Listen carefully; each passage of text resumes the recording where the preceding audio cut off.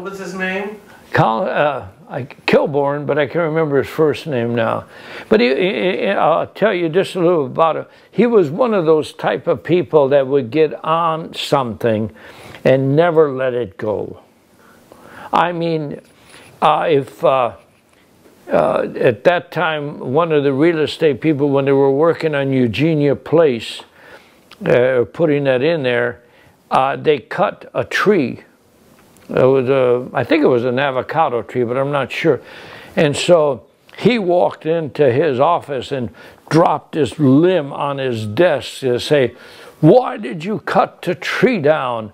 And all of that. One of those type of guys. He got elected to office based on, because he was always involved. He wanted this and he wanted this and that. And he wasn't an easy guy to negotiate with, so they finally uh, got rid of him. They had him recalled. And, the re it, and he annihilated enough people in town. But I do want to give him credit for something that he did and he stuck with. The bicycle paths is credit to him. He was the one that started, he heard that there was bicycle paths somewhere, and I don't remember, somewhere up north or whatever it was. And they came down with the idea, and that's why we have bicycle paths all over, is because of Kilborn. And he was, I didn't see him after he was recalled. I used to know him fairly well and talk to him. Uh, and his wife was uh, as animated as she is, he was, and and they had a daughter that was even more animated. So it was an interesting uh, group. But they were totally dedicated, but he just didn't know how to deal with people. You just, you couldn't say no to him. You know. Uh, apparently he was arrested for campaign violations. Do you recall that? Was that yeah. technicality, do you think? Yeah, I think it was a technicality. It just, uh, you know, something, I mean, the campaign violation was, I mean, he might have collected a couple extra bucks. At that time, it was nothing, but I, it wasn't that much of an issue. And I think he also felt that it was, he didn't want to be on anymore. So, and, and, you know, he, nobody would talk to him. None of the other council people would talk to him. He was, he was an interesting guy. I think well directed, he would have been a heck of a council person. But uh, but I have to give him credit for the bicycle paths. Nice. Yeah. I'm going to turn this off. Normal people, people want doing the right things, and that's all there is to it. Okay. I was probably the dumbest character of all, so this is, yeah. You weren't on the council, though, were you? Never made. I ran uh, once for the council, didn't make it. And uh, the other, I ran for the uh, fire board and made that. But other than that, no. Do you know any history about the Plaza Theater? About the Plaza Theater? Well, not any more than anybody else does. The Plaza Theater, of course, was started back in the 20s or something like that.